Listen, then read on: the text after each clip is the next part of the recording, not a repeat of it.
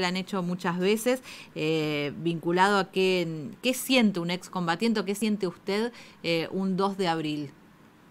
Bueno, el sentimiento es muy profundo, el, 2 de abril nos remite al, año 82, a, aquellos recuerdos que tuvimos, pero después de tantos años eh, uno más ha elaborado todo, todo lo sucedido y, piensa en todos los compañeros a lo largo de estos 39 años, lo que, han, lo que le ha dolido, lo que le pasó a Malvinas, y, bueno, ese es un sentimiento muy fuerte porque viene el recuerdo eh, ya hace días, todos los muchachos se ponen un poco alterados cuando va a llegar el 2 de abril, eh, porque es un sentimiento eh, sumamente profundo para todos ellos y, más después de, de llevar una carga de dolor tan, tan fuerte durante tantos años.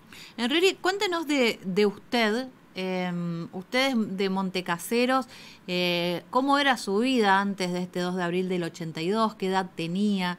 ¿Cómo fue su paso por las islas? Bueno, te cuento, yo era estudiante, yo estudié ahí en Corrientes, en la escuela técnica, eh, terminé eh, los últimos tres años de la escuela técnica eh, en Corrientes, y bueno, después de eso me, disponía a estudiar arquitectura, que era mi, mi sueño de... de, en Yo, yo quedé en el, en el ejército, yo ingresé el 3 el, el, febrero del año 82 eh, al servicio militar. Y, bueno, entré y a los tres meses este, estalló la guerra y bueno, me, equiparon, digamos, para, para ir. En el momento que, sucede, nadie pensaba que íbamos a ir a, Malvinas. Este, el regimiento 4 acá de Montecasero se empezó a preparar, pero nunca eh, con la idea de, que, de ir a Malvinas. Yo eh, tengo unos hermanos más grandes y entendía bastante eh, el momento que vivía la Argentina, la época de la dictadura, y, me molestó muchísimo cuando se tomó Malvinas, la verdad no, no, no fue para mí un... Como ahora que uno entra a YouTube y ve un video, uno puede entrar en Google y poner fotos. Eh, era difícil imaginarse cómo, cómo era esa geografía, cómo era el clima. Cuando, primero, ¿tenían idea previa a cómo era el lugar en el que se iban a, a encontrar? Y segundo, ¿cuál fue tu primer sensación cuando pusiste un pie? Eh, no, no, por eso te contaba que nosotros con el mismo equipamiento que teníamos acá en, el calor, nosotros llevamos las chinelas que nos daban acá, una remera que se llama ballenera, que está agujereadita, que es para el verano, eh, llevamos la misma ropa que teníamos acá, lo único que nos dieron en Comodoro Rivadavia fue una campera que se llama Duvet, que es una campera tipo así de plumas. Eh, es lo único que le agregaron a nuestra, a nuestra ropa de, esta zona, digamos, porque no estamos nosotros acá en el frío. ¿Y la temperatura ya cuántos grados bajo cero? Bueno, las temperaturas ya bajan, eh, yo no te sé decir exactamente, si ahora vos mirás en, en, internet vas a ver las temperaturas que hay en el invierno, pero en ese momento no teníamos ningún tipo de información y como, como soldados conflictos que somos no nos dan tampoco información y, por lo general el, jefe directo nuestro, que suele ser un cabo un sargento, tampoco tiene ni idea de lo que va a suceder. Nadie se esperaba que nosotros íbamos a ir a una guerra, todos decían, íbamos a ir a ocupar Malvinas y nada más, y después volvíamos. Esto no, no, eso era el comentario, o sea, nunca, tampoco, yo también me daba cuenta que yo no estaba preparado para nada.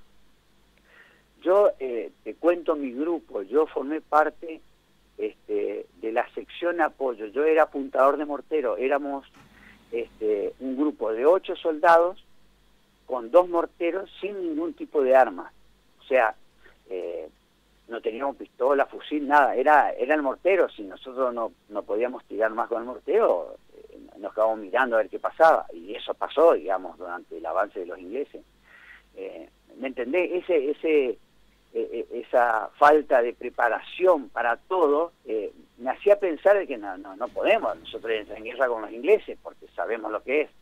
Y volviendo a tu pregunta, de, yo vi un poco Malvinas cuando toman que los periodistas van a Malvinas y en, la, en las televisiones de los cuarteles por ahí podíamos mirar algo y veíamos que le hacían entrevista a la gente que estaba en el, pueblo y bueno, pensábamos que nosotros íbamos a llegar a Malvinas, también íbamos a ver gente en el pueblo, en, que nosotros llamamos Puerto Argentino.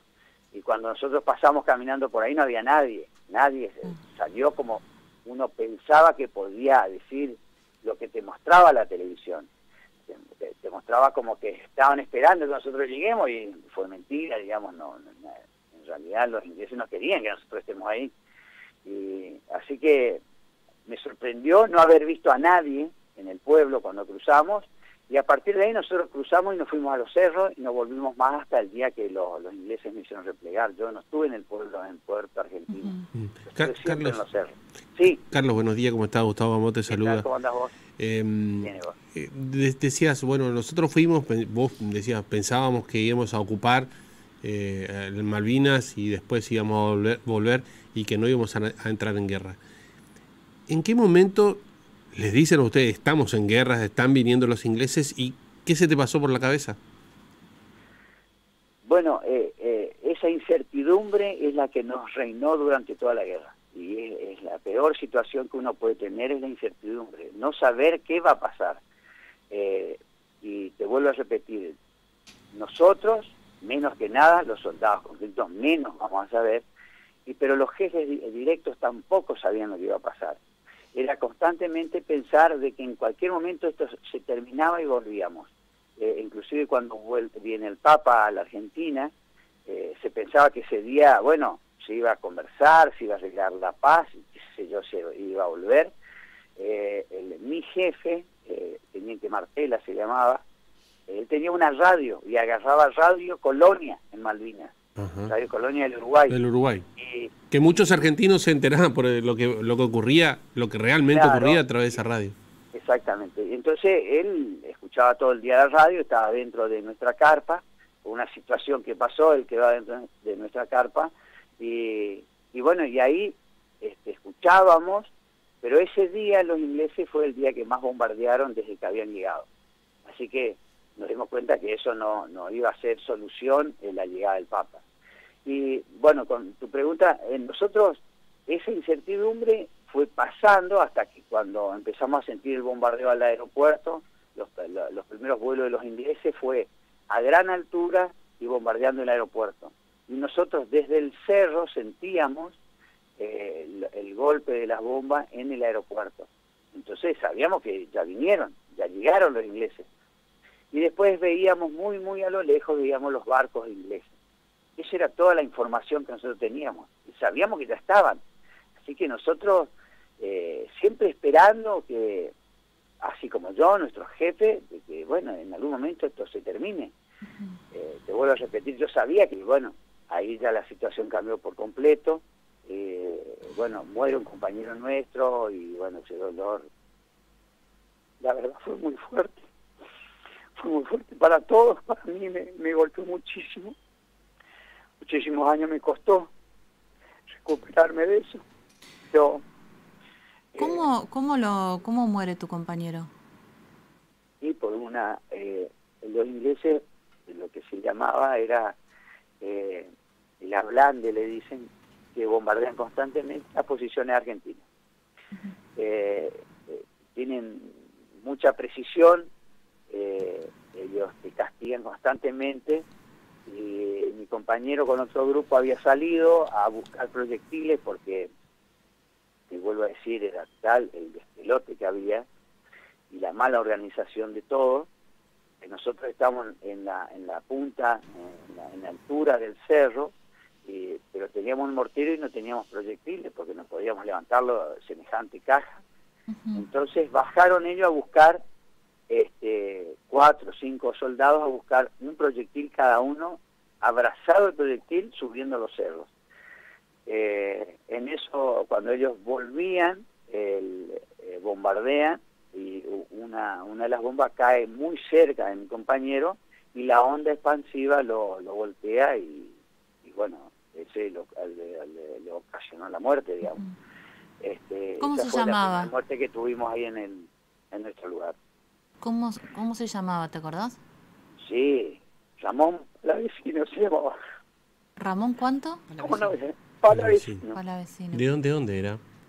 Él es del Chaco, de Machagay, y yo tuve la suerte de, volver a, cuando fui a Malvinas en el 2006, estuve en la tumba de él, eh, cuando volví de Malvinas fui a ver a la madre, ella se llama Rosa Jiménez, la busqué por todos lados, el ejército no me dio información, yo pedí eh, eh, información en el ejército acá para ir a visitarla y contarla cómo murió el, hijo.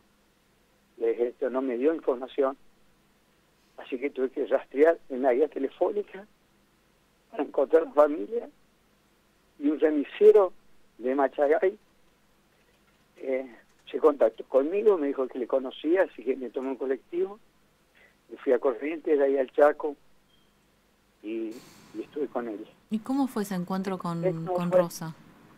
¿Cómo? ¿Cómo fue el encuentro con esa madre que perdió a su hijo y, tener que contarle cómo fue, eso?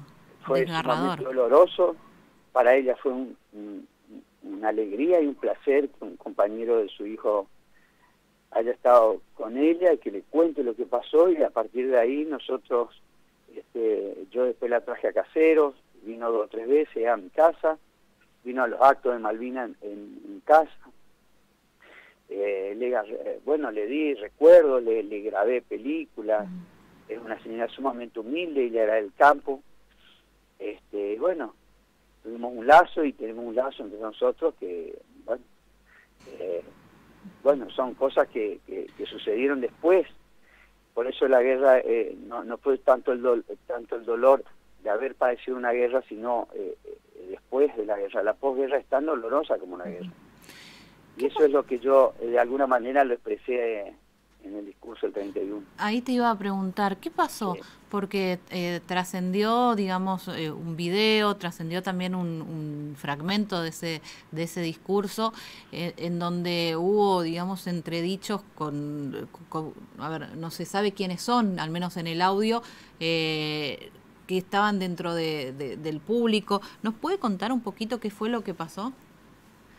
Sí, sí, te cuento, yo desde que volví a Malvinas, no sé si ustedes sabían, cuando nosotros nos dan la baja, cuando salimos de los cuarteles, en todos los cuarteles del país, cuando le, no, no, el, ejército no, no, nos dan la baja, eh, nos hacen prometer que no debíamos contar lo que pasó en Malvinas. Esa fue la, la consigna de, las Fuerzas Armadas nuestras, que eh, cuando no, nos largaron de los cuarteles era no contar lo que pasó allá algunos inclusive le hicieron eh, firmar como un convenio que no había que hablar. Yo, por supuesto, salí de ahí, salí de los cuarteles y me prometí contar siempre lo que a mí me pasó.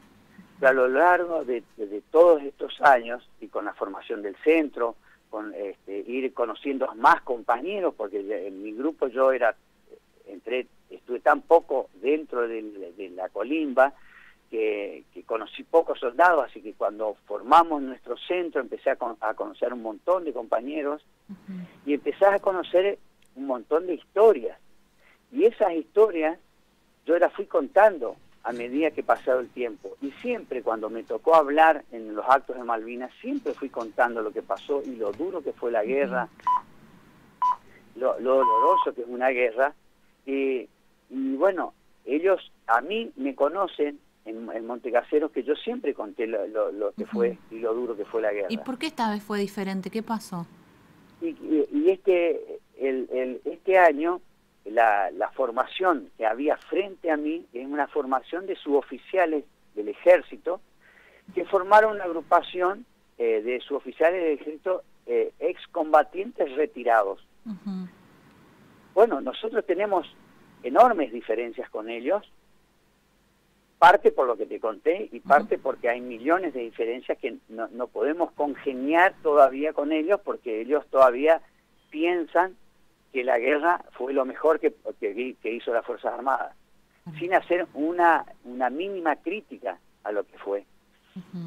Entonces, eh, yo en el discurso trato de, expresar el dolor de todos mis compañeros que lo, lo llevan tantos años Y en el momento que empiezo a contar lo que sucedió, eh, lo que sucedió con nosotros Malvinas, eh, ellos eh, me quieren interrumpir, este grupo, digamos, me quiso interrumpir el discurso para que yo no siga hablando y contando la verdad sobre la guerra. por eso se escuchan unos gritos, que hay, hay un oficial que me grita que me calle, y, la verdad me dio mucho más fuerza para seguir hablando, y bueno, se nota en el, en, el video, para seguir contando, porque la gente tiene que saber lo que pasó. Eh, no podemos tener un, país engañado. A nosotros nos engañaron demasiado con la dictadura. Después de la dictadura empezamos a conocer las atrocidades que cometieron las Fuerzas Armadas y que por suerte ahora los, enjuician a todos. ¿Cómo vamos a seguir escondiendo también la guerra de Malvinas? Además, habiendo en Corrientes tantos soldados, eh, tantos soldados conscriptos que estuvieron todos en el frente de combate, porque los correntinos nos llevaron todos al frente en Malvinas, y, en vez de, ser compañeros, nuestros jefes, eran nuestros enemigos. Si teníamos que comer, ellos no nos daban comida, nos daban sopa y ellos comían los corderos. Este, escondían eh, los cigarrillos, no teníamos armamento, a ellos no les importaba. Si nosotros teníamos frío o teníamos dolor por la muerte de un compañero, a ellos no les importaba. Entonces eh, eh, eh, nos sentimos tan desprotegidos en Malvinas con nuestros jefes que eso no es una guerra. Yo durante, después que después que sucedió la guerra, yo siempre traté de buscar una explicación y mirar otros países, cómo se manejan, cómo es el trato con los soldados. Hace, mira, hace siete años yo empecé a estudiar licenciatura en historia porque no puedo entender todavía esta guerra. y, haber leído tanto en todos estos años sobre guerra eh, me, da eh, esa certeza de, lo eh, mal, mal, mal armada, mal... De lo inexplicable que todavía... sí, lo inexplicable que, fue habernos llevado este ejército, aquel ejército, a Malvinas. Este, lo que yo te cuento eh, lo vas a encontrar en todos los soldados conflictos. Carlos. Todos te van a contar exactamente lo mismo. Y te cuento algo más. Yo después de, lo que hablé ese día, eh, tuve el, el, acompañamiento de todos mis compañeros. Y hasta el día de hoy, hasta ayer, eh, mis compañeros que miran, que viven en otros lugares de, de Corrientes, inclusive en otros lugares del país, me llaman y me dicen, Carlos, dijiste lo que yo siempre quise decir. Entonces siento que he, dicho lo que ellos querían, lo que ellos necesitaron siempre y que nunca supieron cómo decirlo. Y ayer tuvo, ¿por qué tuvo resonancia? Ese día tuvo resonancia porque lo dije delante de un acto con el gobernador, que estaban todos los medios de corriente y lo, levantaron. Porque yo siempre dije lo que pasó en Malvinas. No fue la primera vez, no fue algo que eh, de golpe, yo a 39 años de la guerra, se me ocurrió contar lo que pasó. Siempre conté, desde que volví de Malvinas. Entonces, en Montecaseros me conocen, saben que yo siempre conté la historia y, bueno, eh, sucedió lo que sucedió. No, no fue mi intención, yo no quise molestar al gobernador, ni al intendente, ni a los ministros que estaban presentes. Yo le, le he dicho en las conferencias de prensa al gobernador que le recontra agradezco su política de gobierno con los combatientes porque nos ha dado todo, la verdad, y sé, sé por compañeros que han viajado a Malvinas y al regreso se sienta en su despacho, conversa con ellos en privado, eh, sé esa disposición que tiene con nosotros. No fue mi intención este, que, no, se, entiende, se semejante problema en, el acto. Fueron ellos los desubicados. el personal de las Fuerzas Armadas fueron desubicadas, este, irrespetuosas, porque yo he, visto, he ido a muchos actos donde los militares hablaban y tuve que escucharlos, porque es la opinión de ellos y somos libres y por suerte estamos en democracia y podemos opinar libremente de lo que nos pasó, estemos o no de acuerdo. Así que, este, bueno, disculpame si... No, gracias Carlos por, por contar, bueno, primero el sentimiento vinculado a, la guerra y después lo que pasó en esto, que bueno, obviamente las imágenes y los audios trascendieron. Carlos, un abrazo fuerte, un gusto haber hablado contigo. Muchas gracias. Bueno, no, gracias a ustedes, le, agradezco, gracias. Bueno, Carlos Enriori, presidente del Centro de Combatientes Sabañano, contando su experiencia. ¿Tenemos que hacer la pausa, Tere? Sí, a las 8 y 35 nos vamos a la pausa, volvemos en un ratito. Es la hora 8, 35 minutos. si lo único que no avanza en su negocio son